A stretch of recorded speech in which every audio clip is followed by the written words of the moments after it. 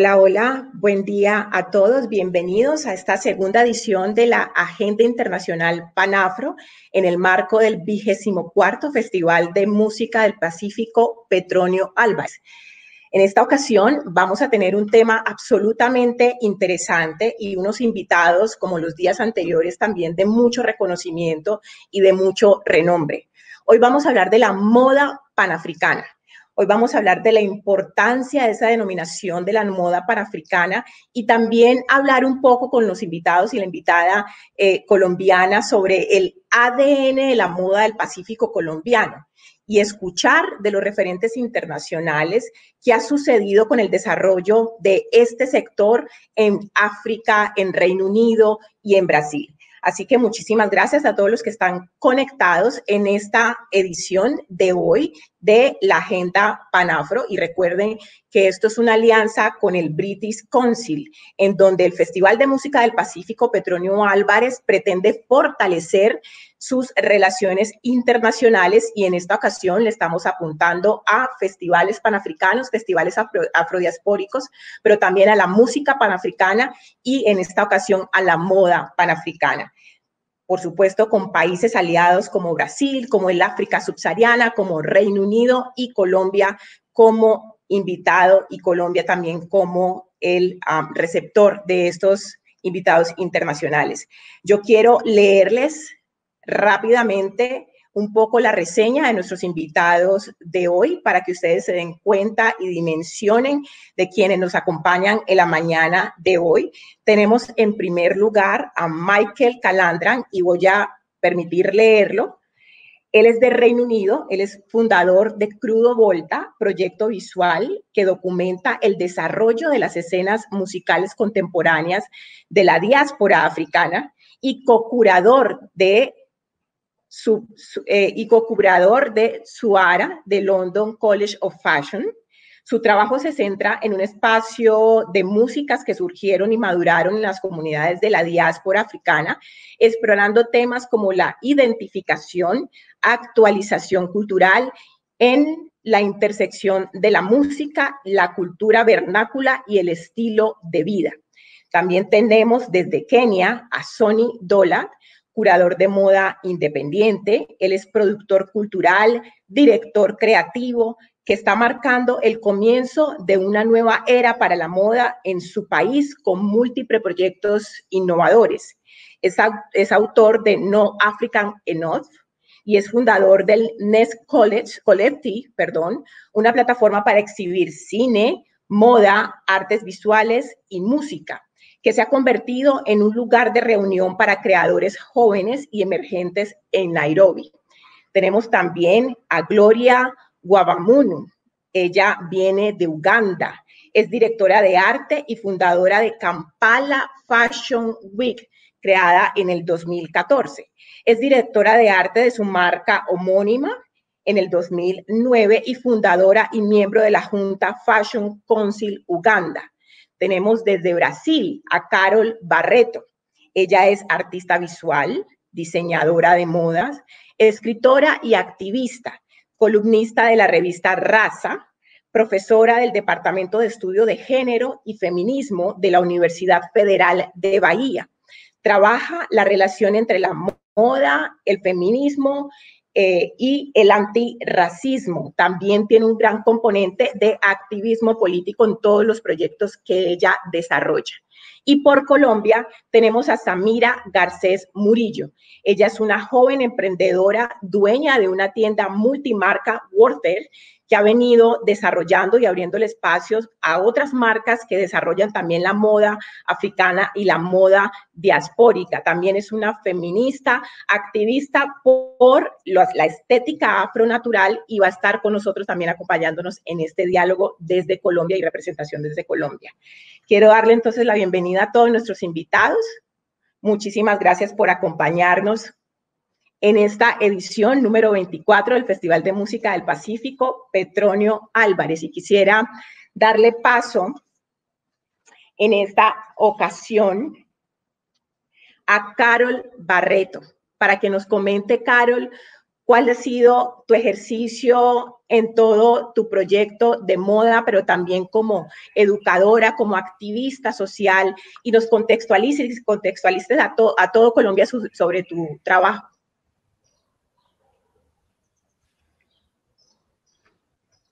Olá, bom dia a todas as pessoas. Eu gostaria principalmente de agradecer o convite, de estar entre essas pessoas que têm transformado a percepção da moda internacional feita por e para pessoas negras. Eu tenho me intitulado como modativista, que é um termo que criei sobre a necessidade de é, reivindicar por mais respeito à moda feita por e para pessoas negras e também para dar nome aos processos criativos decoloniais que eu tenho experimentado, transformado o meu ateliê num espaço de ensino-aprendizagem e de formação de pessoas empreendedoras, especialmente de pessoas negras. Nesse trabalho de mais ou menos 10 anos, eu tenho enfrentado tanto as portas que me são fechadas pelo racismo brasileiro, né, as relações raciais ou hierarquias raciais no Brasil, tem uma complexidade que nos coloca fora dos universos de promoção das nossas marcas, e ao mesmo tempo isso me tem feito é, ter a felicidade de levar meu trabalho é, nessa história para mais ou menos 10 países fora do Brasil, entre continente africano, Europa, Norte América, né, e agora também é, é conversando com a Colômbia, sob a perspectiva de pensar quais são as metodologias, os processos criativos e produtivos que são respeitáveis à nossa origem, respeitáveis à nossa ancestralidade, para constituir uma transformação social por meio da moda, que é um espaço tão definidor da nossa identidade.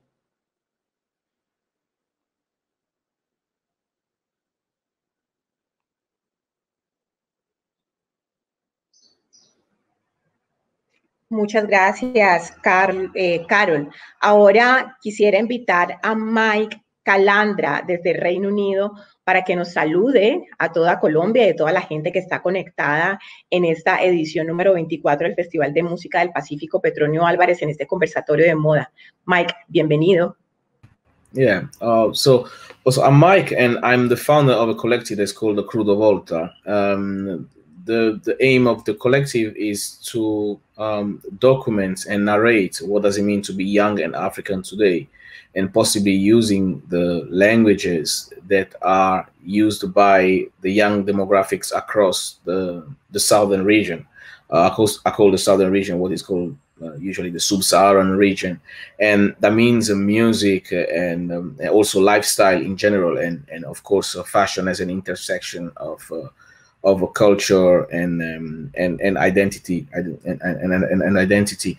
Uh, well, the the project was um, was created out of a, out of a necessity uh, to represent a, a contemporaryity, uh, because Africans are often left with a reflection um, around their past or an eventual future. And as being being a, an African of a diaspora, I was actually born in uh, West Africa myself. I was born in Republic of Benin. I always felt very difficult to keep a pace with the, with the changes of um, of my of my African identity because as everything um, African identity is very dynamic and is all always uh, in, in evolution. So um, the project has been a good occasion to connect with the young Africans and give them agency to have um, to have their conversation going. Also because their conversation when it comes to the West are systematically removed or they are rephrased uh, in languages or in uh, in tones that they are they are not necessarily they are not necessarily the one that they like to. So um, audio and visual so music and fashion uh, they they are these languages that uh, have great continuity with african uh, cultures uh, in in a sense that uh, historically africans have always used audio and visual to create stories and you know regroup around the stories. Uh, people might uh, jump straight away and, and think about the, the, the centrality of the drum as a technology to unite africans.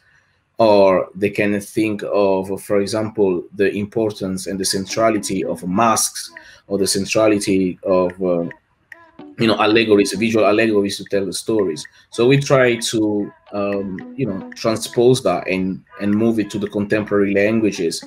There is a street culture and there is a fashion. And so we try to collaborate with contemporary african practitioners just to forge uh, stories and forge uh, experiences that are relevant either for the continent and outside the continent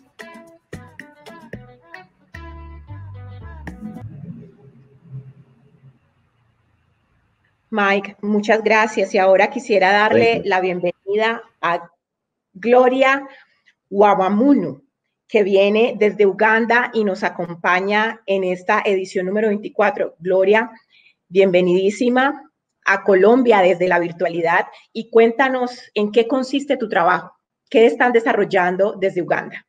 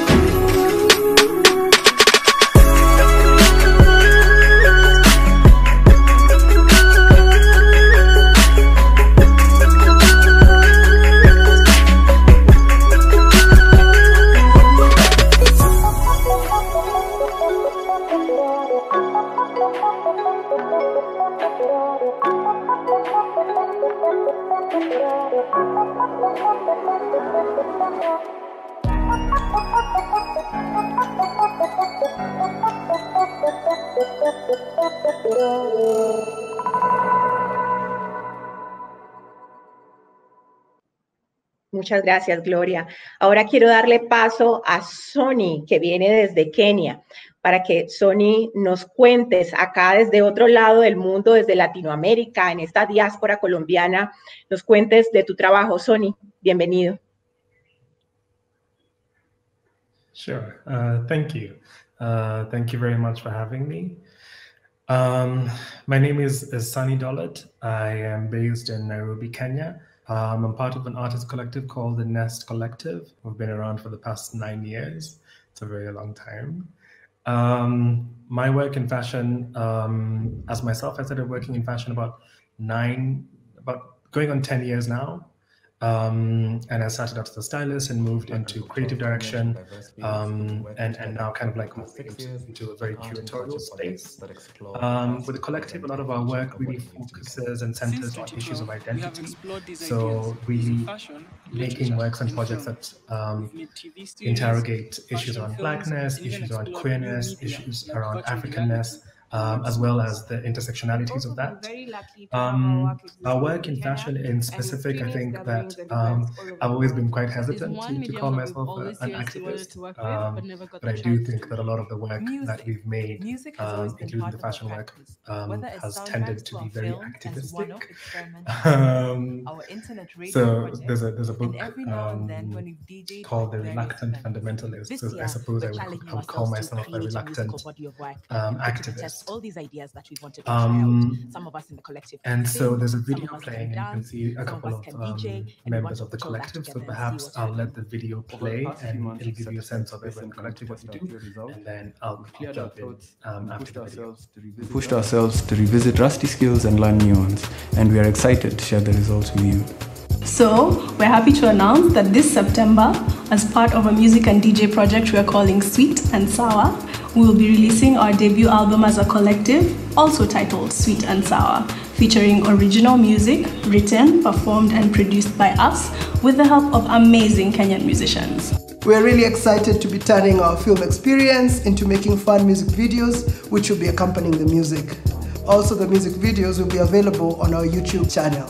We will also be hosting a series of Sweet and Sour DJ events featuring our very own DJs, DJ Kashi, Noel Kasioka, Ziggy, Maz Masai. Our DJs will also begin releasing uh, new mixtapes on our new Mixcloud channel starting September 2018. You can check in for updates along the way by subscribing to any of our channels and we are really looking forward to sharing with you what we've been working on so far. Thank you for all of your support and stay tuned.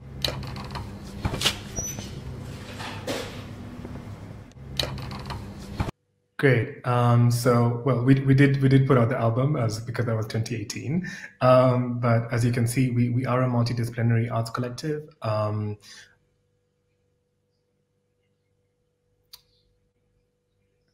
and so um, the work that we make is in um, uh, we do music, we do film, we do fashion, we do literature, we do theater. Um, but going back to, to speaking about our fashion work and, and, and it's kind of like activistic elements, um, one of the one of the projects that we did was a was a book that we put out um, about three years ago no three years ago now called Not African Enough. And the ambition of Not African Enough was to really expand this idea of what African fashion is. Uh, we've always found that quite often, whenever people um, in the rest of the world talk about African fashion, they have a very kind of narrow understanding of what Africa African fashion is, what it looks like, um, and quite often that's very limited to, to clothing that's made from Dutch wax print um, or Ankara. Um, and you know that's not quite representative of, of the entire continent. Um, so you know, as I'm sure Gloria will say, um, in East Africa, the fashion aesthetics are very very different um, uh, to to uh, West Africa. And so Not African Enough was kind of this first body of work that aimed um, to really expand um, and really break this very narrow idea of what African fashion is. Um, and we'll get into a couple of other projects later on. Thank you.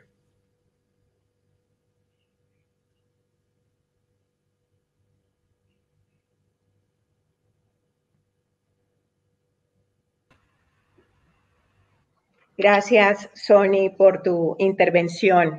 Y por último, desde Colombia tenemos a Samira Garcés Murillo, una emprendedora, activista por la estética natural, afro o negra. También es propietaria de una tienda en donde le da apertura a otras marcas y a otros emprendimientos para su dinamización y su monetización. Samira, tu turno para saludar y contextualizar a todos los que nos siguen en esta transmisión de hoy acerca de tu trabajo.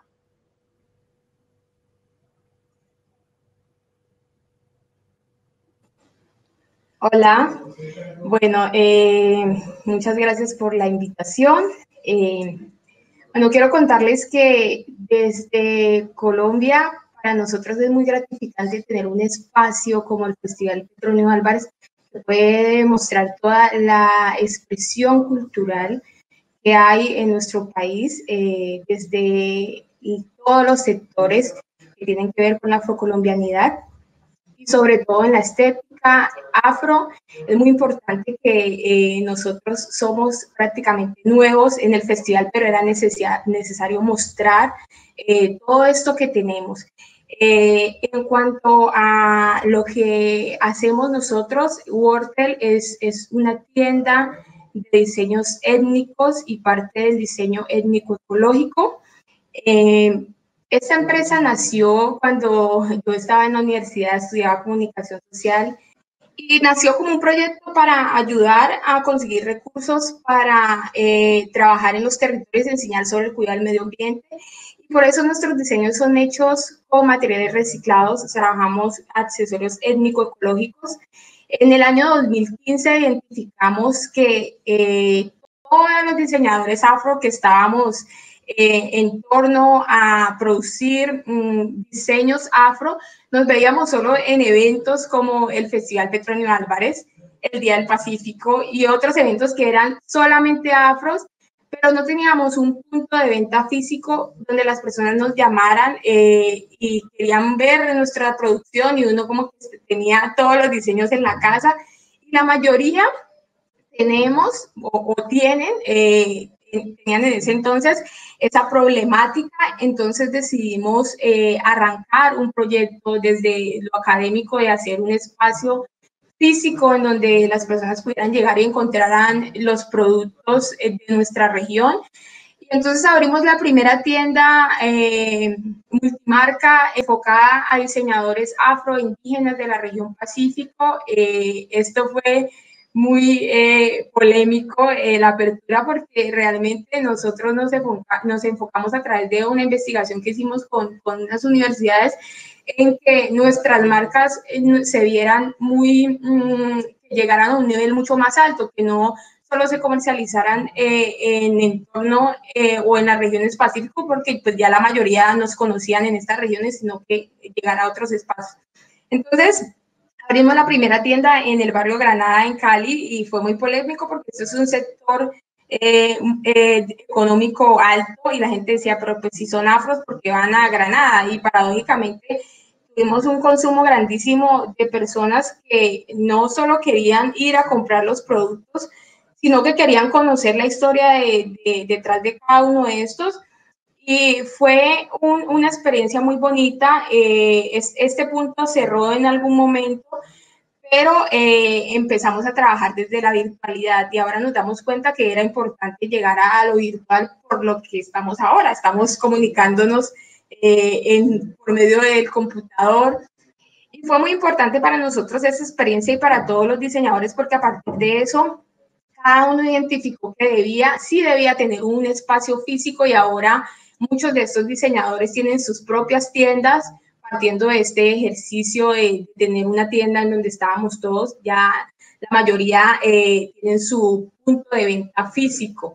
Entonces, mm, por ese lado, es, fue importante que Wortel eh, abriera este espacio, pero también fue importante tener en cuenta que los diseñadores trabajan desde los conocimientos del territorio. La mayoría eh, estamos en constante comunicación. Frente a la música, por ejemplo, nosotros ahorita estamos haciendo investigación para sacar una reciente colección que tiene que ver con la música. Identificamos que la música, la adaptación de todo esto que se trajo desde África forzadamente y de todas las creencias que, que habían frente a los dioses africanos, fueron eh, eh, destrozadas prácticamente por todo el proceso de colonización en donde se impuso la religión católica y encontramos que eh, en la región caribe se crearon unos ritmos muy diferentes a la región caribe, pues que es arriba de Colombia, eh, es muy diferente a la región sur, que es más por el Pacífico, y a la región centro, que tiene que ver con, con Chocó, con Antioquia.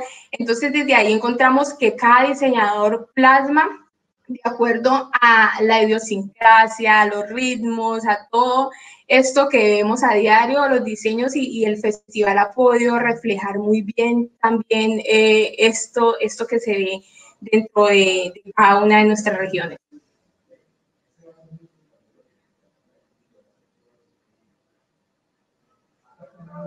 Muchas gracias, Samira. Y desde Brasil se encuentra con nosotros Carol Barreto. Carol es una activista, es diseñadora, es feminista, también tiene proyectos eh, políticos antirracistas. Carol, bienvenida y quisiera que le comentaras a toda nuestra audiencia en Colombia y en el mundo que nos ven en esta agenda internacional del Festival de Música del Pacífico Petronio Álvarez en alianza con el British Council sobre tu proyecto, sobre tu trabajo desarrollado en Brasil. Bienvenida. Olá a todas as pessoas, muito grata por esse convite. É uma honra para mim estar entre essas pessoas incríveis que estão transformando a moda feita por e para pessoas negras ao redor do mundo. O meu trabalho tem contribuído a essa perspectiva ativista no campo da moda. Como mulher negra brasileira, baiana, nordestina, eu tenho honrado as minhas raízes, a minha ancestralidade, trazendo para as peças que construo, mas especialmente para os processos criativos e produtivos que dão surgimento a essas peças e a essas obras, formas de organização e formas de construção de design de arte que sejam respeitáveis à nossa história como pessoas negras na diáspora africana. Eu tenho me auto-intitulado como mota ativista, um termo que eu tive a necessidade de cunhar pelo entendimento de que existe uma separação entre os conceitos de moda e arte, e assim também fomos ocupando passarelas internacionais, como Dakar Fashion Week no Senegal, Black Fashion Week Paris, Angola International Fashion Show em Luanda, galerias em Chicago, Nova York, é, Cidade do México e algumas no Brasil que vieram depois desse trânsito internacional. Na minha experiência, tanto como pesquisadora, como professora e como designer, eu tenho percebido como é, o racismo brasileiro tem nos colocado para uma projeção internacional, diferentemente do respeito que a gente tem conseguido aqui no nosso próprio país. A gente está vendo aqui a coleção Vozes, que foi a coleção apresentada na Black Fashion Week Paris, construída em homenagem às mulheres quilombolas do Recôncavo Baiano, região da minha ascendência. São peças feitas com reutilização de resíduos têxteis muito pequenos que iriam para o lixo e que num laboratório coletivo é, criativo, nós construímos técnicas de manipulação têxtil, né, nos conectando também à produção têxtil das mulheres latino-americanas e aproveitando esses tecidos que são as capulanas e outros tecidos estampados, como as colchas de retalhos que essas mulheres usam para decorar as suas casas. Foi uma coleção feita em 2015 e para representar o Brasil na Black Fashion Week. Eu fui a primeira brasileira na Black Fashion Week Paris. No entanto, vou a esse evento importantíssimo sem nenhum tipo de notícia nem dimensão a esse, a esse feito né, no meu país. É, outra coleção que eu gostaria de citar para explicar um pouco a perspectiva feminista do meu trabalho é a coleção Axé. É uma coleção é, na qual eu homenageio as mulheres que são mães de santo e alorixás, é, mulheres responsáveis pela nossa reconexão como família, como ancestralidade, como espiritualidade, responsáveis para que eu construa uma identidade como mulher negra, né, sendo mulher negra de pele clara, vivendo uma pigmentocracia no meu próprio país. Então, a coleção Axé nasce a partir do reaproveitamento de material que faz parte da minha memória afetiva, como a colcha de cama que fez parte do casamento dos meus avós na década de 50, que ainda moram juntos em Santo Amaro até o presente momento. E nós utilizamos técnicas de bordado, de renda, de crochê, que são tradicionais do Nordeste do Brasil, assim como bordados com búzio e outros elementos que são característicos do que a gente chama de mulheres de santo, da nossa prática como mulheres de candomblé. Eu sou uma mulher preta, de, é, praticante de matriz africana, e por meio da coleção Axé, trago uma homenagem à minha ancestralidade, e a partir daí também a gente traz exposições em galerias de arte para questionar essa separação entre moda e arte, que também está conectada a uma perspectiva racista do conceito de moda. E estou concluindo a tese de doutorado onde tenho escrito sobre moda como ativismo político em contribuição aos movimentos feministas interseccionais, ao movimento feminista negro e à luta antirracista de modo geral. E escutar vocês aqui nessa mesa vai contribuir bastante também para o meu estudo, para a minha pesquisa e para a minha atuação como professora.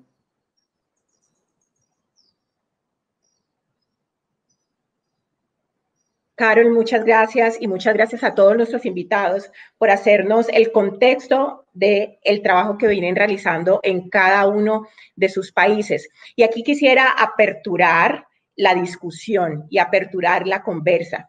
Tenemos todo el tiempo del mundo para que podamos desarrollar las preguntas que tenemos sobre la mesa y quisiera que se sintieran en la libertad de generar esas discusiones. Eh, queremos comenzar esta discusión hablando sobre el significado de la moda africana. ¿Qué es la moda africana? ¿Qué es la moda negra? Y si este significado ha ayudado a posicionar una estrategia de nuestra cultura o realmente ha ayudado a eh, tener unos estereotipos y unas preconcepciones que nos ha marcado de manera negativa. ¿Qué piensan ustedes sobre esa denominación de la moda africana? ¿Nos ayuda o realmente eh, se ha convertido en un estereotipo que lo que hace es eh, encasillarnos muchísimo más y tener una percepción negativa sobre lo africano y sobre lo afrodiaspórico? Quisiera darle la palabra a Sony para que arranquemos esta discusión.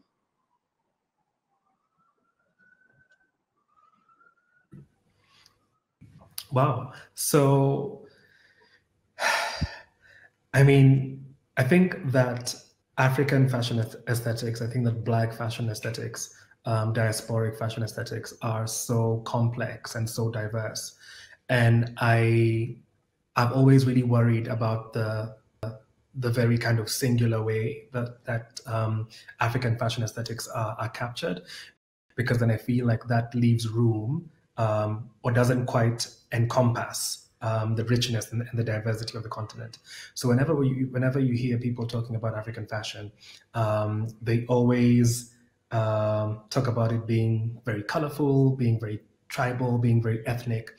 And I think that over the years we've learned that there's many layers to the use of the words tribal and ethnic, right? Um, and so I think that to start to see all of these other aesthetics that are found across the continent and across the Black diaspora and across the African diaspora are so important. Um, because then we're adding layers and layers and layers. Um, so, like for instance, whenever people talk about minimalism, there's this idea that minimalism is either Scandinavian or, or Japanese. But I also think that Africa and the African diaspora has its own version of its of it of, of minimalism um, that are not necessarily rooted um, in either Japanese or or Scandinavian um, minimalism, um, and, and and perhaps I can give an example of of last year um, uh, in July. It was the end of July. I was invited to to to make a piece of work um, at Angola Biennale in Sao Tome. Um, and initially, I thought I was going to do this fashion show, um, but then that that ended up changing because when I visited the island, um, I started thinking about Africa and her diaspora in their entirety and the way that we never really get to see everything, right? Whenever people talk about Africa, uh, if it's a fashion exhibition, uh, the countries that will be profiled are always like a handful. It'll always be Nigeria, South Africa, uh, maybe Ghana, maybe Kenya, it's always about five or six countries. Um, and I think that's that that's part of the problem that whenever we're talking about the continent, you know, you can't talk about it very neatly using a couple of words because you are speaking about 54, 55 different independent states that are all very, um, that have their own kind of identity and their own kind of cultures. And so I was really keen to, to explore a work that aimed to to see Africa and the diaspora in, in, in, in her entirety, because then perhaps once we start talking about the continent um, in that way, that perhaps that's when now we can start to build on these nuances. Um, and I'll just we'll just watch the video right now, and then yeah, I'll jump in at the end.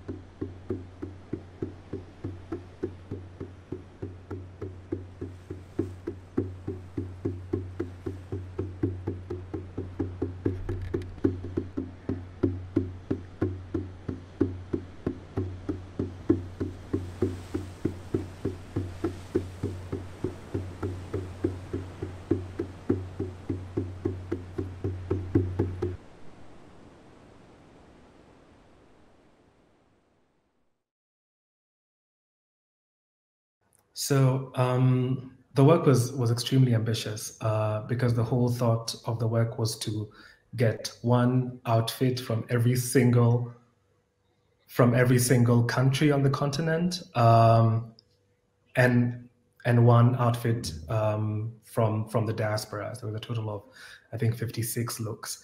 In the end, we ended up with a little bit less because of logistical challenges. Some some of the outfits got there a little bit late, um, but but we did quite well. I think we ended up with about 48 it either 46 or 48 outfits, um, and Gloria was one of them.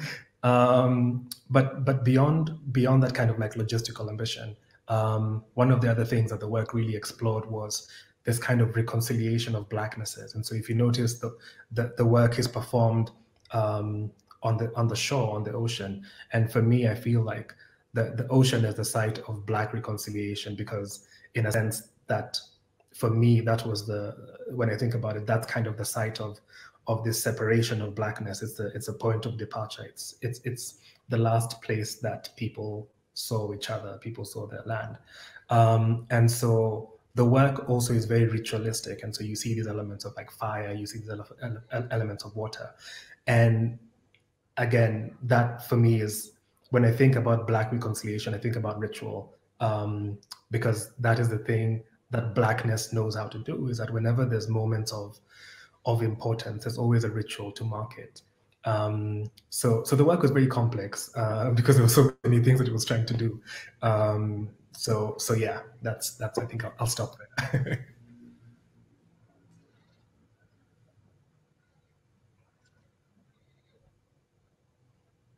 Sony, muy, muy interesante y quisiera permitir que todos los invitados pudiésemos desarrollar esta pregunta. ¿Realmente la denominación de la moda africana o de la moda negra se nos ha convertido en un problema o realmente ha sido una estrategia que ha beneficiado a la diáspora y que ha beneficiado a África para posicionar eh, su narrativa, para posicionar su mensaje? Y aquí quisiera darle la palabra a Gloria.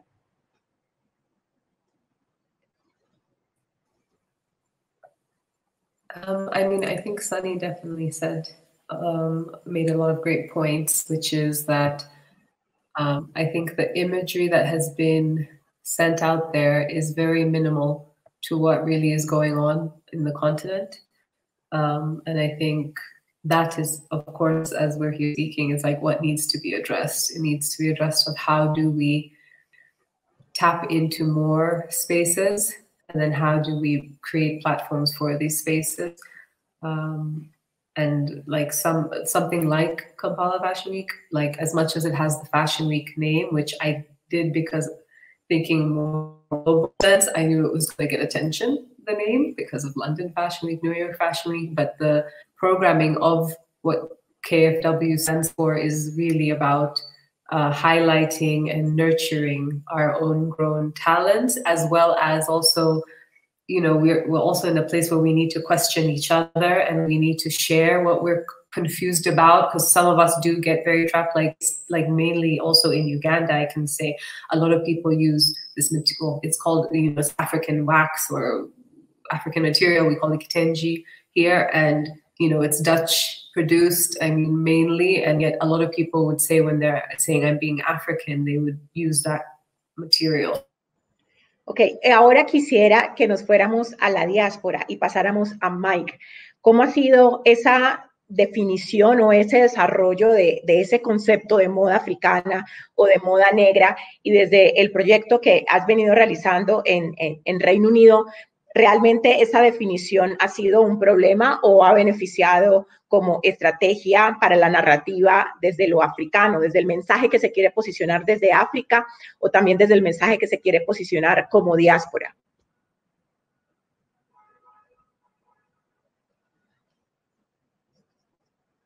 Because one of the issues when I started the project, one of the issues, one of the issues I started reflecting is really this concept of being an African because it's, an, an imposed um, it's, an imposed narrative uh, the term itself doesn't start in Africa. So that's where the, the first problem begins.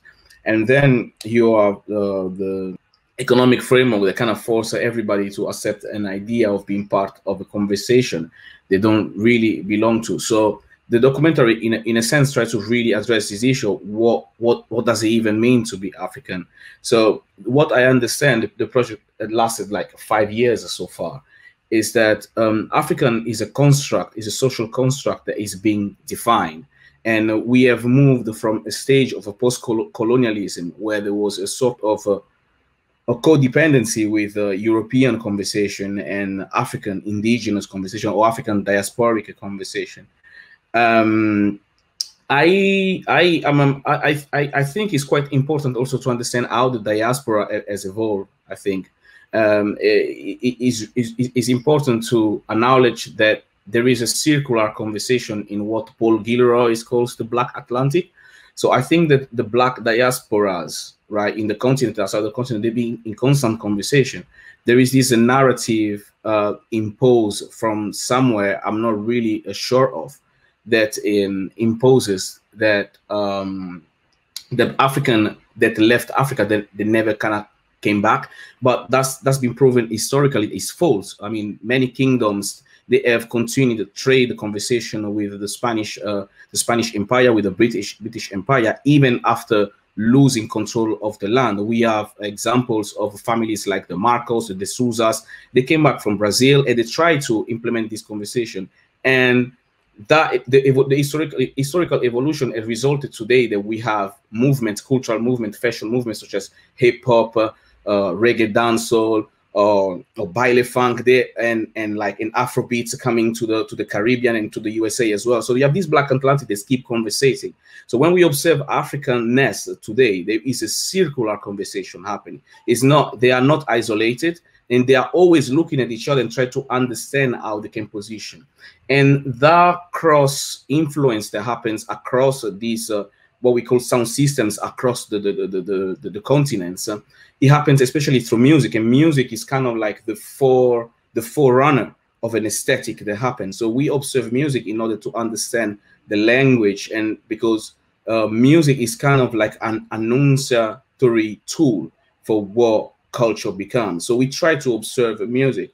And in music, you you still have the tribalistic kind of conversation that happened in the past. So you have this sort of isolation, isolation of a music genre, as isolation of cultures that happen. So we try to tell them all without saying, well, this is African music. You know, that's that's what was happening in the past with the world music, for example.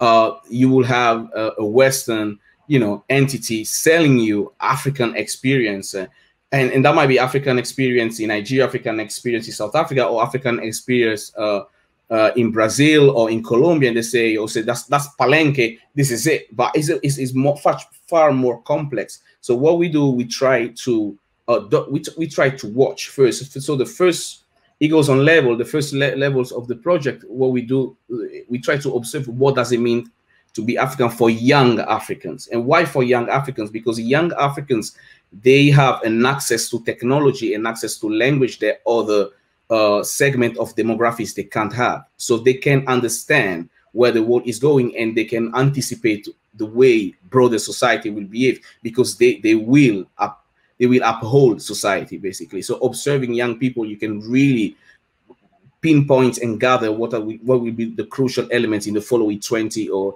and 30 years and and and when we started observing the younger generation we started understanding fashion as a context right so yes it's true that we have uh, examples of a minimalism example of a maximalism example of cross pollinations in africa as well but it's also true that africans they have their own indigenous conversation that never go out because of the way economy economy works because fashion really is an economy and really is a reflection of the dominant economic system that we live in, which is capitalism. And that's why it's not surprising to see countries like South Africa or countries in Nigeria to be to be brought to the first front because they just mirror the uh, economic economic structuring. And when once once we started observing uh, this concept of Africanness across across the, the different country is that in all these country, the young people, for the first time, they identify themselves as African, so they have accepted this identity as being African, but they they kind of like um, look back in their identity and they try to remix it. And this possibility to remix your, your culture and and kind of like reframe it is made possible by the democratization of uh, democratization, democratization of technology. So technology is allowing young people to create their own their own narrative. Let's think, for example, the T-shirt, right? Uh, a young a younger collective in Accra is capable to producing um, culture. There is a there is gathering either elements from traditional uh, traditional culture and from pop culture, African, Ghanaian, Ashanti pop culture. That's something that wasn't possible back back in the days. And and this is how now, for example, culture is being affect is not is no longer being dominated by class is dominated by taste, and the internet is providing these young uh, these young Africans to use the I said the, the digital space as an environment for a global conversation. It, it wouldn't be no longer like my my mother's generation where Europe would be the thing to look at to, to appear cool or to appear professional or to appear for belonging a certain, to a certain class you had to dress in a certain way. I have clothes that, that come from Paris, clothes that come from uh, from um, from London, clothes that come from New York. Now, because of democratiz democratization of, of technology and because the young Africans they're accepting this imposed social construct of being African, they create their own conversation. And so the internet becomes a space when they can reimagine the self where African can reimagine what does it mean to, to be African, and they can re re renegotiate what does it mean to be African uh, on their terms. And that's where our pro our project becomes important because not only we observe, but we also uh, participate and we collaborate to make sure that that circular conversation keeps going. Bien, y llegamos a, a, Latinoamérica y aquí quisiera pasar a Brasil. Tenemos un gran problema en Brasil que se asimila a Colombia y es que son países con un alto índice de discriminación, de clasismo, y quisiera, Carol, que desarrolláramos cómo ha sido en tu país ese ejercicio de denominar todo, toda la creatividad que sucede en África, pero toda la creatividad que sucede también con la diáspora afro en Latinoamérica en un solo concepto de moda africana o moda moda negra. ¿Esto ha permitido que los afro-brasileños cuenten su propia narrativa o esto se ha convertido en um problema para ustedes? Adelante, Carol. Então, Ana, é uma pergunta bem complexa pelo seguinte: com o processo de escravização, que é o que constitui a população é, de pessoas negras em é, Latinoamérica, é, o primeiro espaço que nos é Destruído é o espaço da estética, da corporalidade e da aparência. Assim como toda a produção de conhecimento que foi elaborada é, nos colocou num lugar de inferioridade, de subalternidade, né, direcionando toda a nossa população para uma imitação da branquitude, para uma imitação da estética de pessoas brancas, especialmente com alisamento de cabelo, especialmente com modos de vestir muito mais referentes à europeidade do que à africanidade. No Brasil, a gente tem é, discutido tanto a utilização dos termos, ou moda negra, ou moda afro-brasileira, né, sob o entendimento de que, sob a perspectiva da brasilidade, que nos traz tanto elaborações da cultura de povos indígenas é, tradicionais, assim como de culturas europeias que nos colonizaram, a gente tem constituído uma reivindicação é, de modos de construção de repertório e re, reconstrução da nossa memória, para que a gente possa compreender a nossa africanidade e a nossa afro-brasilidade.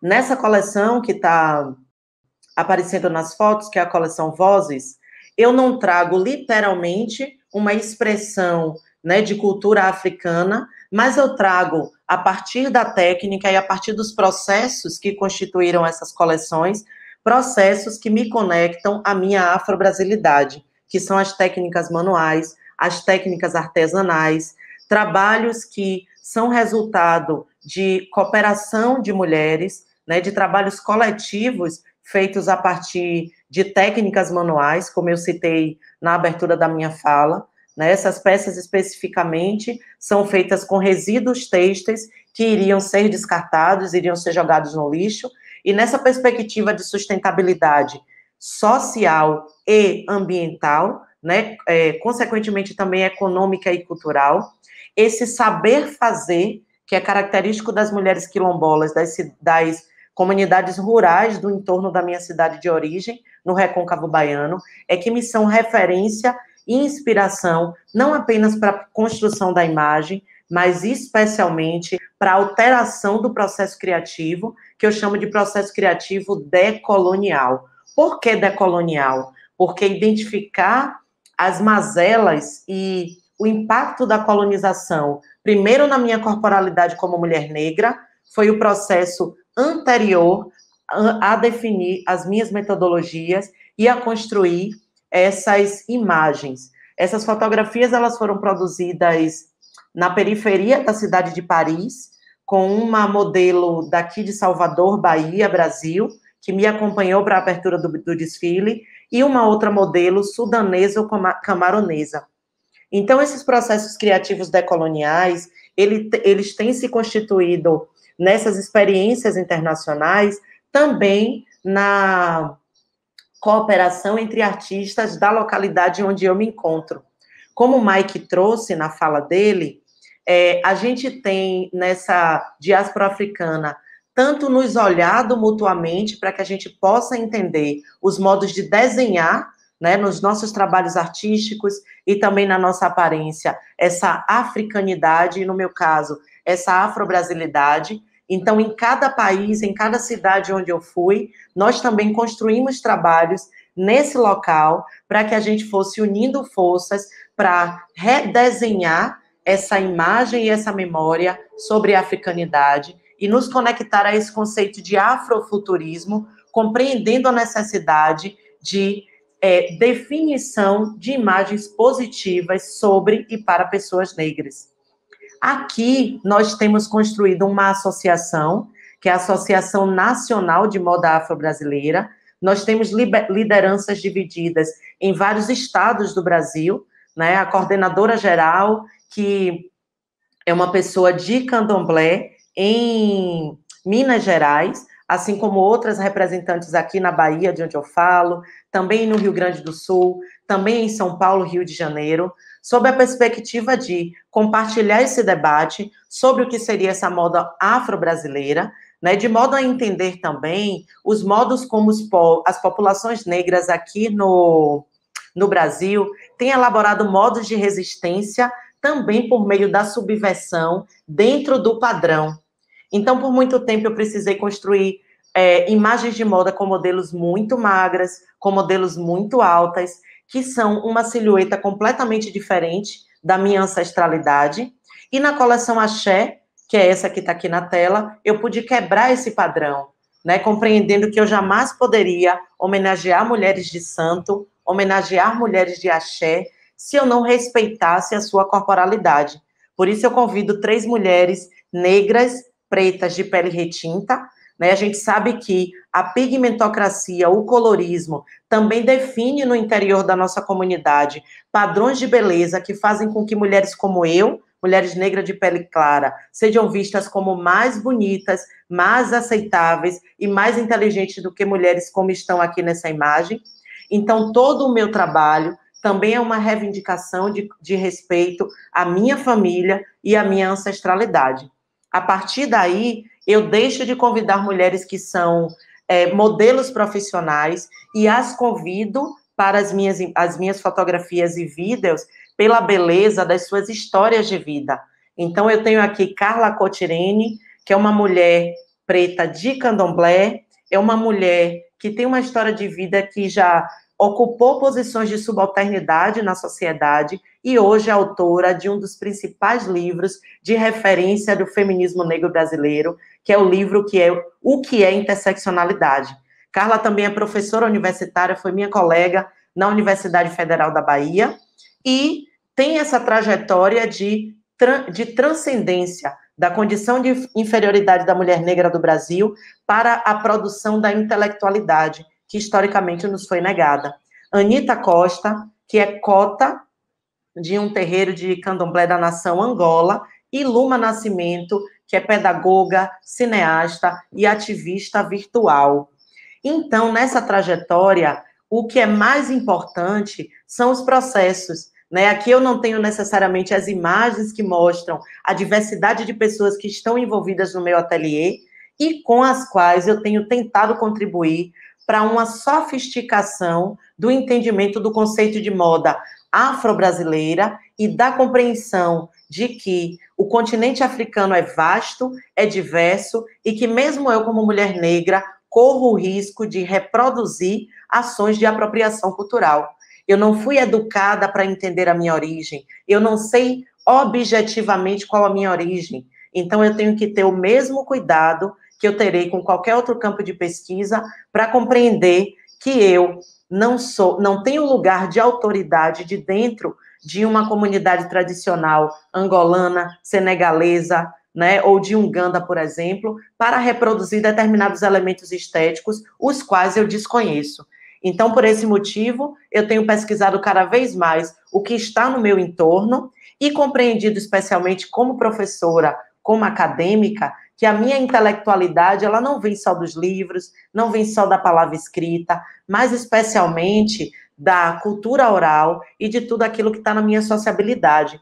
Então, a partir dessa fala, eu trago, para concluir, o entendimento de que nós estamos é, elaborando coletivamente esse entendimento e esse conceito de moda afro-brasileira, reivindicando para que esse conceito seja entendido também como uma reserva de mercado. E respondendo mais objetivamente a pergunta de Ana, eu acho que o nome, sim, ele nos ajuda. Eu acho que o nome, sim, ele é necessário e ele, e ele é extremamente é, pontual no sentido de elaborar também uma divisão, né? Compreendendo que nem toda pessoa negra fará moda afro-brasileira ou moda, fará moda com referências de africanidade, porque eu também e todas as pessoas negras precisamos de um caminho de retorno e de muita pesquisa para que a gente possa também elaborar arte, moda, música com respeito à nossa ancestralidade.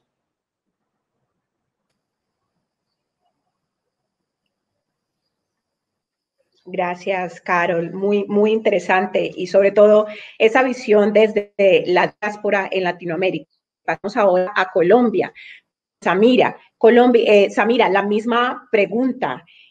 En Colombia, la denominación de moda africana o de moda negra, ¿consideras que ha sido más un ejercicio de estrategia que nos ha beneficiado para contar nuestras propias narrativas, para seguir contando nuestras propias historias, para conectarnos con eh, nuestros orígenes africanos, o se ha convertido en un arma de doble filo en donde ya ahora todos estamos encasillados mucho más en una sola denominación o otra vez estamos encasillados en una sola denominación de moda negra y de cierta manera nos obliga o nos indica que todos tenemos que vernos de determinada manera para poder definirnos como negros o como afros. ¿Ha sido esto un problema en el caso de Colombia o ha sido más bien una estrategia que nos ha beneficiado?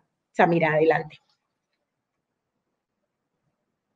Bueno, eh, considero que en Colombia estamos en un proceso de encontrar como negros, eh, la identidad, el origen.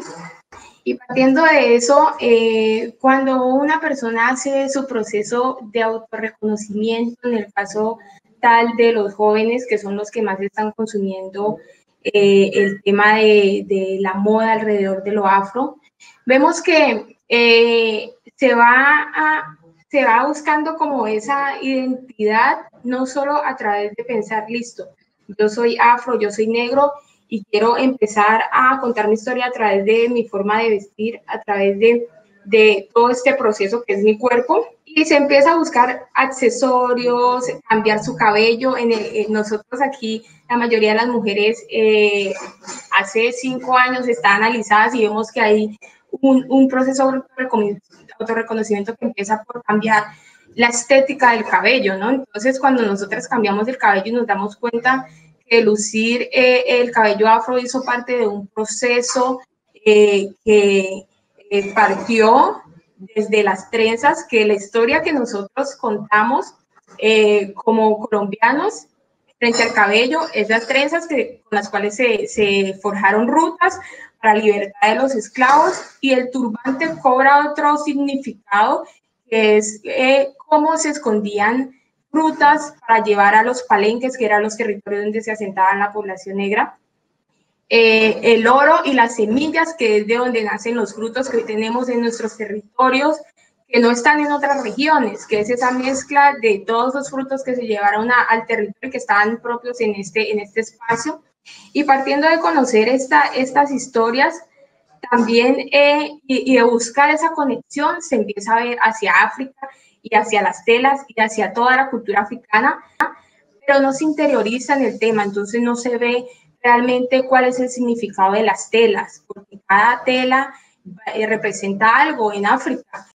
Y entonces se vuelve, esto en la actualidad estamos viendo que se ha vuelto el mercado de las telas africanas para la población afro, eh, afrocolombiana, pero sin un significado claro de qué, qué representan las telas para, para, mí, para mí como afrocolombiano, cuál es esa conexión que yo tengo con ese con África y cómo esta tela, eh, por ejemplo, pertenece a, a, esta tribu yo considero a través de la investigación que esto puede, eh, puedo contarle a la gente cómo desde esta tribu que fue traído, fueron traídos mis ancestros hacia América, hacia Colombia y, partiendo de esto voy trazando una historia. Entonces vemos que en estos momentos, en esa búsqueda de esa conexión, se ha convertido en un mercado en Colombia de que toda la gente quiere consumir telas en épocas especiales, como por ejemplo el Petronio Álvarez, y ahí es cuando vemos que los grandes eh, productores de telas a nivel nacional, eh, desde hace un año, dos años, han comenzado a producir telas, o sea, imitaciones de telas africanas para comercializarlas en el, en el Festival Petronio Álvarez, pero eso parte de nosotros. Nosotros tenemos que comenzar a investigar. Hay diseñadores aquí en Colombia que están trabajando las telas africanas y que son conscientes de, de, toda esta historia que tienen y el significado que, que, tiene cada una de estas telas. Y las telas también eh, eh, están por regiones, no todas las telas africanas significan lo mismo. Y, y, eso es lo que está pasando en Colombia. La gente cree que todas las telas africanas significan lo mismo. Hay que eh, ser conscientes de eso.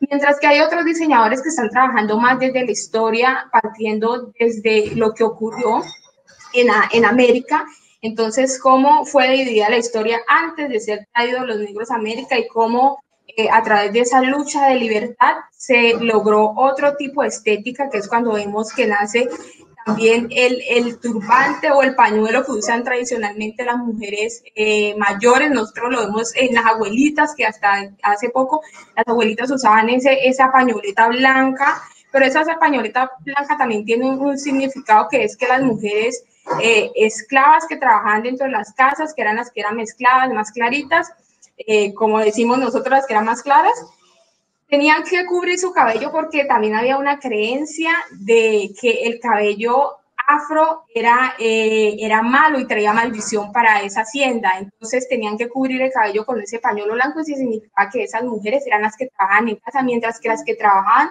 en los cultivos o los negros que trabajaban en cultivos tenían que usar el sombrero de paja tetera y ahí es donde nace esa, esa mezcla de, buscar la conexión y que se iba perdiendo cuando mezclaron a los negros que venían de diferentes tribus para que se perdieran las costumbres, lo que hacían era mezclar a los negros de diferentes tribus en una hacienda y eh, de esta forma se partió toda la historia y se empezaron a crear otras estéticas. Nosotros comenzamos a adoptar estéticas más mm, impuestas en este proceso de, encontrar esa conexión estamos mirando hacia África con las telas africanas, pero no consciente, pero también estamos mirando qué es lo que ocurrió en los territorios. Y creo que eh, el, lo que debemos apuntarle es a que se haga investigación y que encontremos esa conexión clara de las telas africanas frente a lo que nosotros somos actualmente como jóvenes.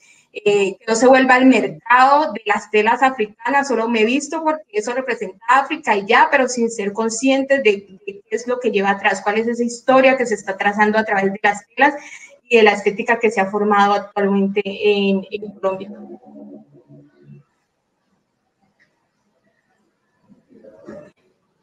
Muchas gracias, eh, Samira. Y volvemos a Gloria con, con, la misma pregunta. ¿Cómo ha sido, Gloria, ese ejercicio en Uganda y en el proyecto que tú diriges sobre esa denominación o ese concepto de moda africana o de moda negra en el caso de, de la diáspora? ¿Realmente ha servido para posicionar desde Kampala Fashion Week toda la narrativa que tienen en Uganda o se les ha convertido esto en un problema?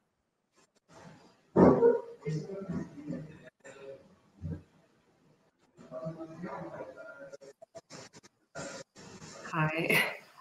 Uh, I mean, I, think with KFW, by first again, this platform being open to Africans by Africans, it's for us to have that exchange of you know re-educating ourselves about things you know and and creating places that we can have these conversations as i was saying earlier so with kfw it would be a place where you can have those conversations especially even people coming from other you know countries within the continent. They could share their journey as designers they could share what their challenges are what their identity crises are what they're trying to rediscover and project through their um, their experiences and research. I feel also that's a thing, you know, designers coming from or just because of you question it's challenging you more to ask questions and um, and find out what are you trying to and where put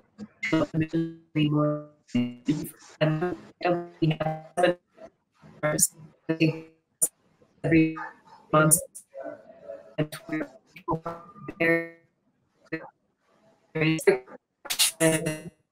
and their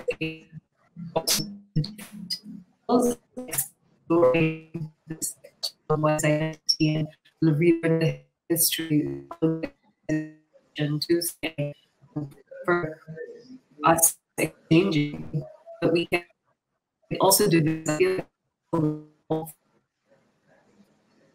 Quisiera pasar a todo el ejercicio que se, que se ha convertido en la digitalización de la moda a raíz también de la pandemia, ¿no? Llegó la pandemia en esta generación, nos correspondió vivir la COVID-19, tuvieron que cerrar muchos sus tiendas, tuvieron que darle un stop o hacerles un stop a sus proyectos, eh, los eventos de moda tuvieron que ser clausurados o aplazados y se ha volcado también eh, de manera importante o se ha abierto una puerta a la digitalización de la moda. En ese sentido, en cada uno de los proyectos que ustedes dirigen, esta digitalización de la moda los ha beneficiado. Sony, por ejemplo, en tu caso, has venido explorando con videos y una narrativa de la moda a través, a través del lenguaje audiovisual.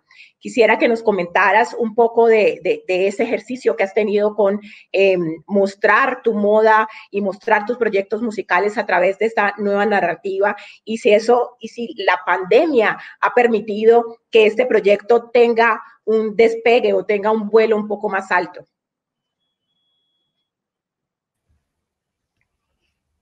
Um, so actually, from the from the very beginning of of, of starting the collective, um, we've always put out all our work out digitally um, because for us that's always allowed us to reach the most number of people. Also, when we started out, we had a very small office, so we couldn't really host any um, events in, in our space. But um, you know, when when we started, we did want to reach as many people as we as, as we could um, and we also didn't want to to charge for for a lot of our work. So I think for about maybe the first six years, um, a lot of our work we put it out either on Facebook or on YouTube or on Vimeo, and it was all available to to watch or to listen to for free. Um, and and so in a way, to be completely honest, this period hasn't really changed um, how we've been putting out work. It it definitely has affected our production um, because we had a we had a window there about six months that we couldn't really shoot anything or make anything. In fact, we couldn't really be we couldn't even go to the office. Um, but then we, we're, we're back on set um, in about a week and a half. And, and even that work will, will go out digitally. Um, so, so if I was being completely honest, I would say that um, in terms of our outputs and the way that we're putting out work, it hasn't really affected um, that much. I think one of the projects that has been uh, the most affected is we do uh, an event called um, Strictly Silk, and that's usually put together by the the, the women with, within the collective. And Strictly Silk is um, started out as this kind of exploration um, and thinking around what nighttime, safe nighttime experiences for for for women and femme people would, would be like. So it's a it's a women it's a women's only event, um, nighttime event uh, that happens about like quarterly. So so far, I think we've missed two uh, because all the clubs and bars in Nairobi are closed. So I think of all our projects, that has been the most affected. Uh, but in terms of like our putting out of our film work and our music work, that's still been going out. Um, in terms of the fashion space, I think some of the designers that we work with um, and, and have collaborated with in the past uh, have been hit quite hard uh, because a lot of them relied on very in-person interaction and in-person sales. Because prior to this, um, online sales, that you know, the, the, there was quite a number, but a lot of places still relied on in-person interactions. And so, as of March, we we saw a lot of people having to figure out a way to go online almost overnight. Um, and so that has continued to become more efficient and and and more, um, I guess, easier um, and, and, and normal um, over the past couple of months.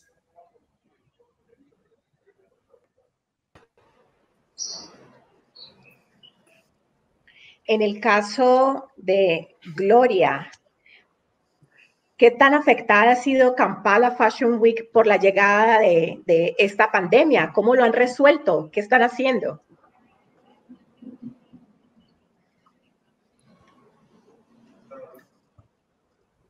Um, I mean, this year we're not having an event due to the restrictions in, with our government. We have like a serious um, social distancing rules, plus a curfew, you know, plus the borders have been closed. They're only opening in October now. So we've definitely postponed this physical event and have been already prior to this, we were very much thinking of more going digitally. Um, so this has kind of enforced it because we were unable to really force the digital because of, you know, because of the market here and the designer level, they were not digital. They were very like uh, one-on-one, you know, so even now it's a bit of also uh, like a, a, good thing that because of this, we've also the designers have had to now really listen and say, okay, yes, going digital is not um, uh, that hard. And so through Fashion Council Uganda, we've been mentoring and assisting designers in doing that transition to help their businesses. Um, as well as also, you know, it's bringing everyone together. You know, we have good WhatsApp groups now filled with designers who can kind of share you know what you're what they're going through, what the challenges are at this time. Um, you know where to buy materials because places were closed and very restricted. Prices have gone up. You know things like that. So it's also been a very uh, community kind of moment at this moment, as much as pushing people to go now digital and the steps towards it. Mike, ¿Qué tanto les ha afectado a ustedes y en sus proyectos eh, de moda y en sus proyectos sociales la llegada de esta pandemia? ¿Cómo lo están haciendo? ¿Cómo lo están resolviendo?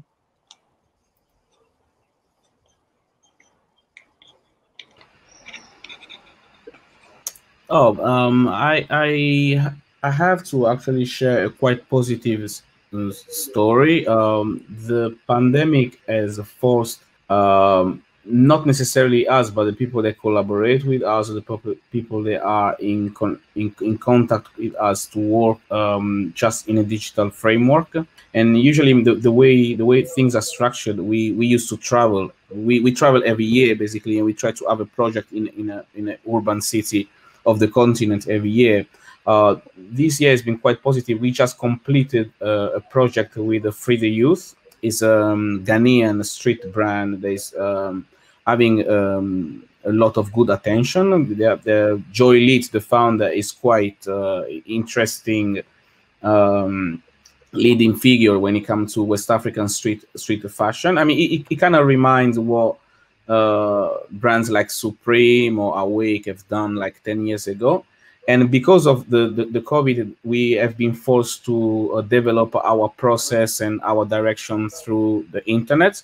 So um, for the first time, we have produced, um, we have realized a project, a capsule that was completely developed in uh, in Accra, in Africa. So the whole production from conception to production to um, well distribution will be done in Europe mainly, but it, has been it has been an occasion to produce everything on the continent and then export it in Europe for distribution. So in that sense, it's been quite positive. And in terms of um, pro product productivity, it's been quite helpful because everyone was forced to stay at home. So the multitasking got actually better, and it allows us to focus on different cities at the same time. So we are working on a project in Lagos as well. We are working on a, um, on a project in Kingston in Jamaica as well. So the, the COVID, because of its nature, it, uh, it helps, you know, like, you know, um, avoiding boundaries. But something that came to my mind when I was reflecting during this time is how um, liberation goes through access and uh, agency and the possibility to like use the internet or the digital space to actualize themselves is, is, is given by your ability to understand um, European languages because most of the knowledge that is found on the internet is in English. And if we think of creative uh, kids, creative youngs that comes from the rural, the rural uh, corners of the continent, they are left behind because of these um, um because of this uh, lack of access to uh, to knowledge and and, and and and and and liberation goes with knowledge and liberation goes with uh, with access to knowledge. So there is a need of ver vernacularization of knowledge. So i guess that's the greatest challenge that we have as a uh, african as a diasporic african enable all the africans that that not necessarily participate in, a, in, in global vernaculars, global languages, to still have access to uh, to still have access to to knowledge. How how do you make a coding? How do you make a distribution? How, how do you make a fashion um, ar architectures and, and fashion design and fashion conception available to kids that speak just Hausa, that speaks just uh, just speak just Yoruba or Ashanti and so forth. So I guess when it comes to our generation, that's the greatest challenge of all. Knowledge shouldn't be concentrated only um, in, in, in, in the perimeters of uh, of Western of, of, West, of Western languages, right? So so that that's that's the, uh, the way I see it. That's the that, that's the that's the challenge for the future.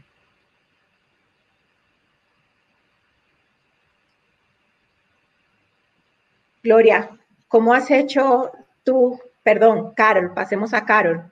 ¿Cómo has hecho tú desde la llegada de la pandemia y la obligación de digitalizar muchas cosas y muchas cosas que tengan que ver con la moda? ¿Cómo lo han resuelto desde Brasil en esta época de cuarentena y de, pandemia? Então, aqui no Brasil a gente vive uma divisão, é, não é nem uma divisão, uma intersecção entre raça, classe social, gênero, sexualidade, né, que é o que a gente tem cunhado como interseccionalidade conceitualmente no campo dos estudos feministas. E eu tenho visto isso na minha família, na minha cidade de origem, né, dentre as minhas estudantes da universidade. As mulheres negras, especificamente, compõem o maior índice de vulnerabilidade socioeconômica no Brasil e são as pessoas que majoritariamente se encontram abaixo da linha da pobreza. Então, nesse contexto, né, é, eu que historicamente tenho trabalhado para contribuir, para reverter um pouco essa situação, fazendo especialmente com que as mulheres negras compreendam os seus fazeres manuais, a costura, o bordado e todas as técnicas que foram é, chamadas de inferiores ou de inúteis, né, para qualquer tipo de crescimento profissional intelectual, né, tenho centralizado nesse tipo de valorização.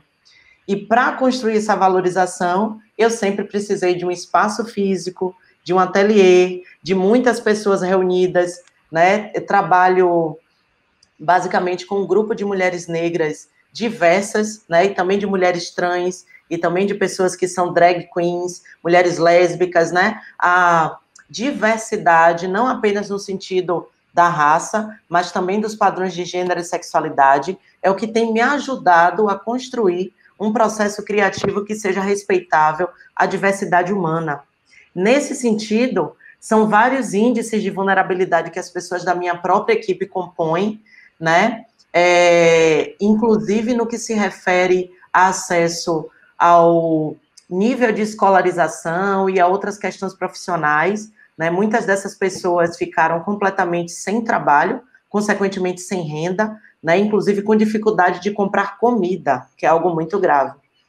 E assim, é, sem a existência desse, desse é, desse processo físico no ateliê, que é o projeto também chamado de modativismo, né, que nesse momento está completamente sem recurso, porque são projetos onde a gente se reúne para prestar um serviço de figurino, para construir uma obra em colaboração à obra de um outro ou outra artista, para é, elaborar essas peças num tempo e espaço específico.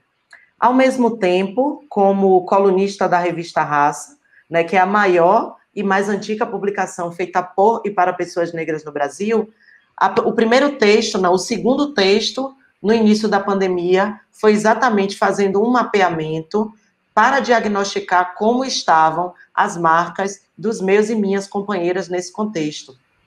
E em muitas entrevistas que nós construímos para a elaboração desse texto, as pessoas falaram, uns da necessidade de manter a equipe de trabalho ativa, para que conseguisse minimamente remunerar essas pessoas e essas pessoas pudessem ter acesso a alimento né, e a medicamentos de maneira mais básica possível, que é o caso de um dos amigos, Isaac Silva.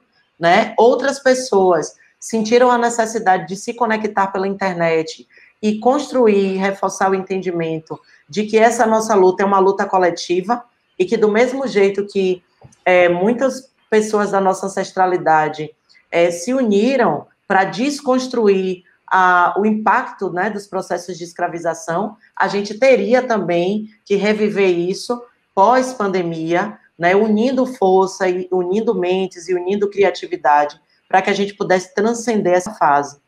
Então, nesse texto, é, o, que me o que me deixou muito é, surpresa foi o fato de que muitas marcas de pessoas brancas estavam fazendo máscaras de proteção para comercializar a preços altíssimos, sob a perspectiva de que era uma máscara com valor agregado, porque tinha marca tal a marca tal.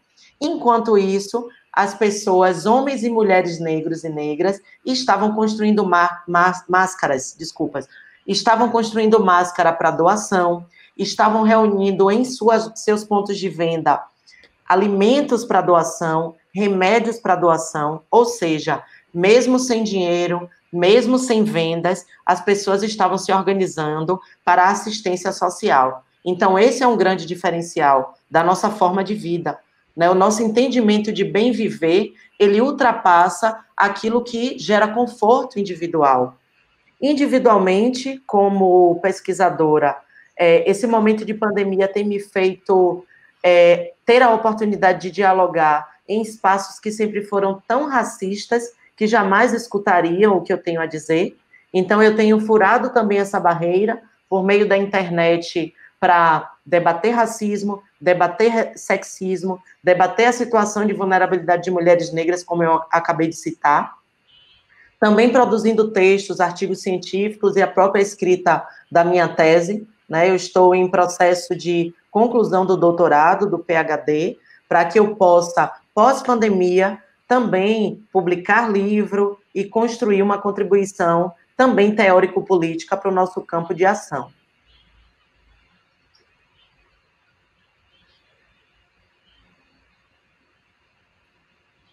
Muchas gracias, Carol. ¿Y cómo ha sido Samira en Colombia para la moda y para todas estas tiendas Em, que han venido desarrollando su proceso de dinamización de la moda afrodiaspórica, de la moda panafricana, de la moda negra en Colombia. ¿Qué tan afectado se ha visto por la pandemia?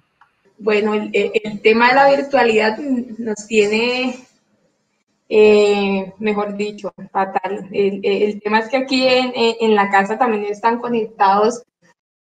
Eh, mi pareja está dando clases y todo el mundo está en sus actividades, entonces se pone el internet muy lento.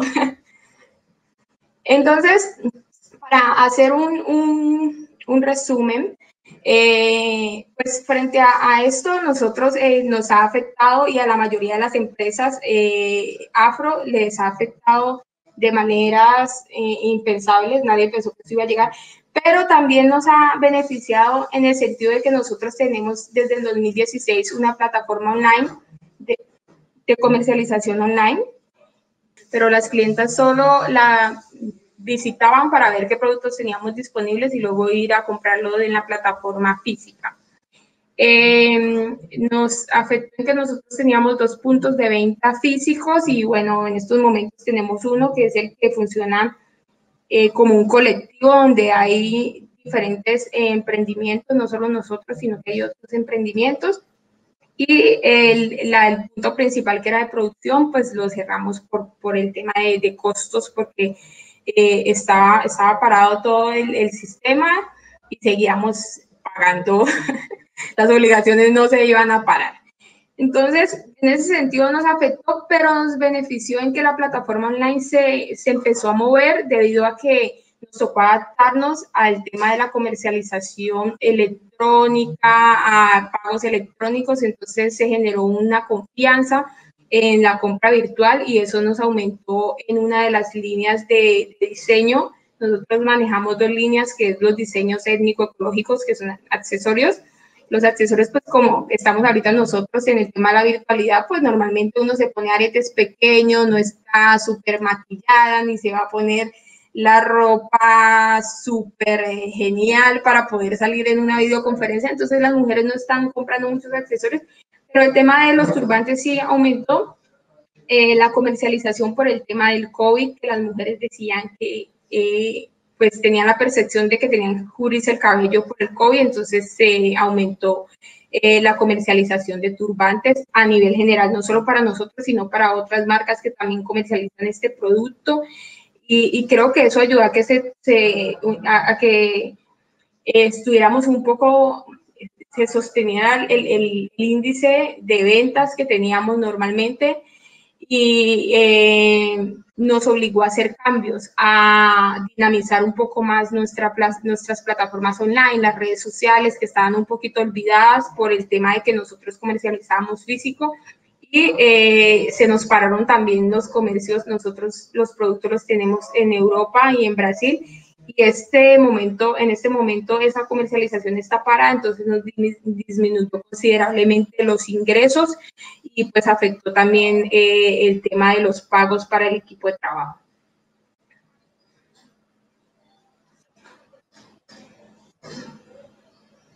Ahora, Samira, muchísimas gracias. Ahora quisiera terminar este panel y esta conversa invitándolos a cada uno de ustedes a que puedan dirigir un mensaje a esos diseñadores emergentes del Pacífico colombiano que están en la exploración de encontrar su ADN mirando hacia África, tratando de conectarse con la raíz y con el origen y también tratando de depurar y de interiorizar esa información que nos llega hasta Latinoamérica.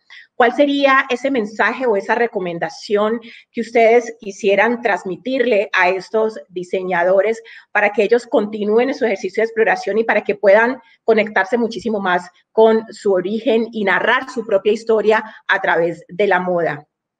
Los chicos y, los nuevos diseñadores eh, partieran de, de investigar toda la conexión que tienen sus diseños con mm, la ancestralidad, porque como les decía antes, si nosotros estamos en búsqueda de esa historia perdida, eh, particularmente en Colombia, pues hay que comenzar a contar esa historia a través de nuestros diseños, empezar a hablarle a la gente y que no se convierta eh, esto en solo el disfraz que se usa en, el petróleo para eh, destacar, porque lo hemos visto y lo vemos todos los años en el festival, que hay un auge de, de, que nos vestimos solo para el evento, pero el resto del año no tenemos ni idea qué significa ese vestido, qué significa ese turbante, qué significan las trenzas. Entonces, nosotros somos los encargados de ir contando ese legado y de pasar de generación en generación e investigar qué pasó con nuestras generaciones para comenzar a plasmarlos en los diseños. Muchas gracias, Samira. Sony, ¿cuál sería tu mensaje para todos esos diseñadores afrocolombianos, esos diseñadores del Pacífico colombiano que están en esa exploración de encontrar su ADN eh, y su estilo, pero también lo están haciendo mirando hacia el origen, mirando hacia África? ¿Qué recomendación tendrías para ellos? Um, um, I think that the, the, the DNA is, is, is within all of us. Um, as you know, just as the panelist before me said, I think that, that the that the research is, is important, but I also think that um, yeah, like I, I really do believe that that all of us um, carry carry the DNA and this sort of like cultural memory in our hands. So I think that there is also a trusting of a trusting of, of instinct. Um, and you know, for for for the creatives who have who have means, because it is it is a, a significant expense. I think that on both sides, um, we have to find ways for for these connections to keep on happening for for people on the continent to to connect with people in the in the diaspora whether it's physically or virtually um, because i feel like that building of of that relationship um, is really really important for for for both of us. Um, so i think that that that would be my parting shot.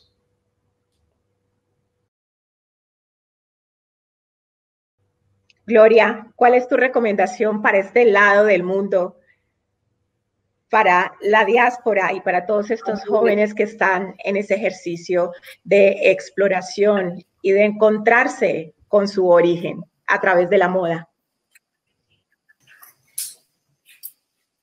Um, I mean, I think it's like everyone has said, it's like to create that connect. And now, now things are such a tap away. I mean, there's such a digital, you know, uh, landscape that people can find people that they would never have been able to exchange with because the, you know the internet gives them that access. And i feel also just to those designers like there's also don't feel any shame like don't feel shameful of what you don't know and what you you feel you should have known. I mean i think asking questions is really important um, even if they seem silly. And also yeah like finding platforms like the nest collective and like uh, FC, you know, FCU, it's like we are also an, uh, an, a space of networking. So sometimes, you know, by sending that DM or writing that email, you can ask the questions to further find other people. So I really think it does come down to that. It's like never don't limit yourself on the questions um, that you want to ask, and and you'll get the answers. Like you know, even for myself, like asking, you know,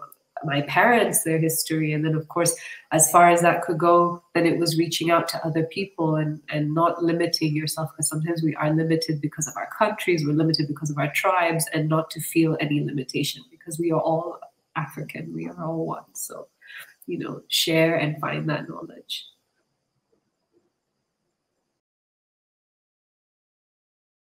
Mike, ¿cuál sería ese mensaje para Latinoamérica, para Colombia, para los jóvenes del Pacífico colombiano que están viendo esta conversa con ustedes, que se están sintiendo estimulados, inspirados por sus proyectos. ¿Cuál sería tu recomendación para conectarse y para encontrar ese estilo propio y esa relación con su origen, con África? Oh, wow. Um, oh, okay, I think I think one of the most fascinating thing that I see in the diaspora is this uh, strong, uh, almost maternal need to find a continuity with, uh, with like with African tradition. So like what African has been, right? Um, to almost an extent of also romanticized Africanness, which I find very um, very honored and inspired by. I look at it and I always like, oh wow, it's very inspiring. Actually, my Africanness has passed through the diaspora first. I started studying being an African outside of African writers. I, I look at the Caribbean, I look at South America, I look at, at North America. So I mean, my, my, my first suggestion would be be aware of your impact because you have big impacts. And, and fashion expression, cultural expression as a larger impact of what we do. And our ancestors, they understood that very well. And they placed nature and the elements of the natural world, the cosmos, and also the community community at the center of the expression. Um, in in the Western world, from a, from the 17th century, human beings have been, have been placed at the center of the world, and we have reached a stage where it's not longer sustainable, right? Because the nature of capitalism tends to exploit any type of resources that might be spiritual, that might that might be natural, or that might be human. So understand the impact of your cultural production and understand that humanity and nature because humanity is nature and nature is humanity we are we are just we are seeds of of, of nature are at the center of your cultural production and also be aware be aware that you have to own your narrative you have to own your capital uh, because we are in a capitalistic framework. So you have to own your narrative and make sure the external gaze don't tell you who you are. You decide who you are. And the most beautiful thing that this is distinctively african is this uh, crave this need to create. Black people create culture every five years. Across the world black people come up with a new craze with a new word with a new slang let's look at the internet is fueled by african black creativity in every aspect of life so be aware of this instinctual drift that you ha have as an African and own it. Making sure it's yours, don't sell it, don't give it away. Uh, people will come to you and tell you, I will pay this up front. Don't do it. Own it. It's yours. And you will know what to do with it. And the third recommendation is a contradiction. Don't listen to my rec recommendation and be the one that actually will be in position to give recommendation one day. So just do your own thing. Uh, instinct is a is an is a magic tool. So always listen to your instinct and be truthful to your integrity, that will take you far.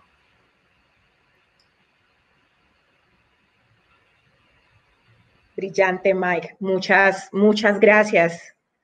Carol, para Colombia, ¿qué recomendación tienes para esta, el Pacífico colombiano y para todos estos jóvenes que están en ese proceso de conectarse con África, pero también conectarse como diáspora en Latinoamérica y lo están haciendo a través de esa narrativa y a través de la moda. Adelante.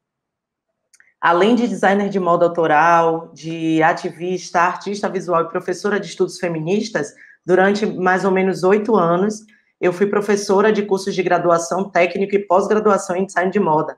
Então, sempre tive que pensar o que é que as pessoas mais jovens, o que as pessoas que estão começando seus trabalhos precisavam construir internamente para que pudessem expressar né, um produto com mais respeito à nossa história, à nossa memória.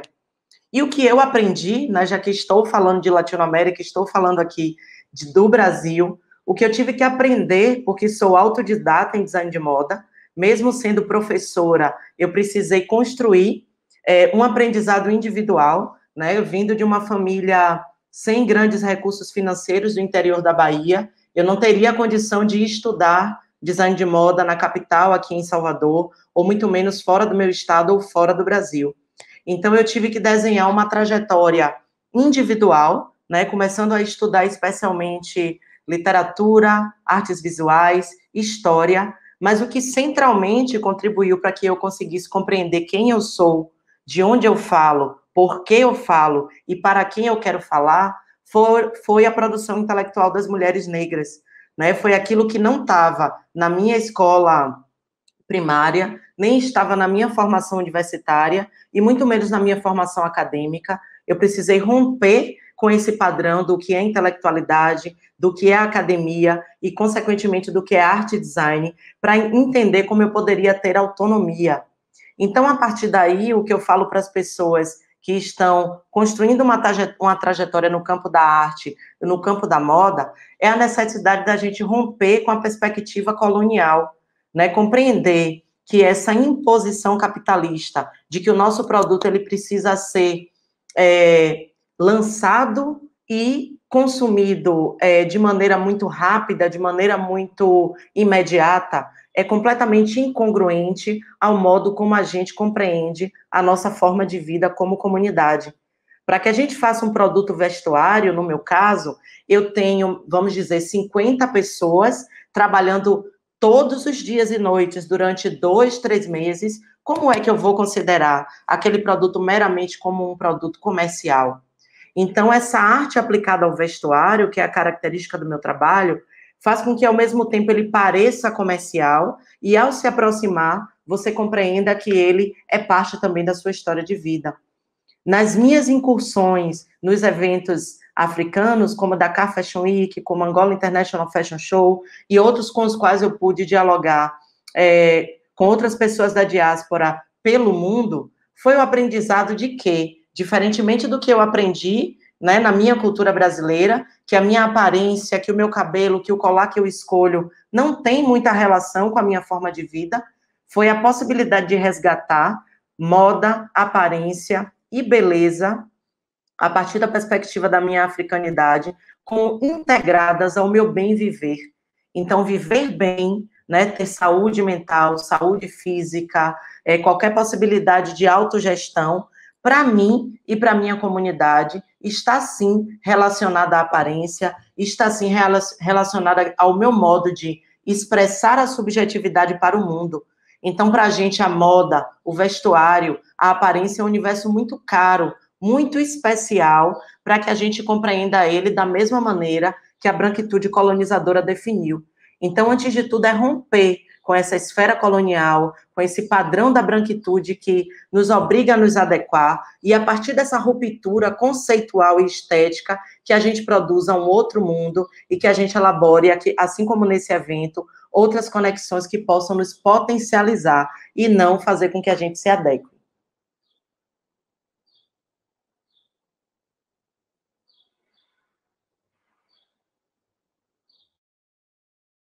Muchas gracias a todos. Hemos finalizado esta conversación aquí en la vigésimo cuarta edición del Festival de Música del Pacífico Petronio Álvarez en alianza con el British Council en nuestra agenda internacional Panafro. Queremos agradecerles a todos por haber aceptado esta invitación de dialogar con Colombia y de dialogar con el Pacífico colombiano. Han salido unas conclusiones, unas sugerencias y unos mensajes muy importantes y muy relevantes para todos los que están en este sector desde Colombia, tratando de conectarse con la misma diáspora latina, pero también tratando de conectarse con el origen, con África, y haciéndolo a través del lenguaje de la moda. Creo que han surgido mensajes y, el conocer sus proyectos es trascendental para que ellos tengan fuentes de estimulación, fuentes de inspiración y también referentes importantes como ustedes a nivel internacional. Agradecemos nuevamente su participación. Es para nosotros un honor haber contado con ustedes. Nos sentimos muy felices. Queremos presentarles disculpas por los inconvenientes técnicos, pero espero que se hayan divertido, espero que hayan pasado también un agradable momento y que sea también muy inspirador con ustedes conectarse con Colombia y conectarse con el Pacífico colombiano. Un abrazo y un beso a todos los que nos ven en esta emisión de la moda panafricana y nos vemos en una próxima oportunidad. Chao.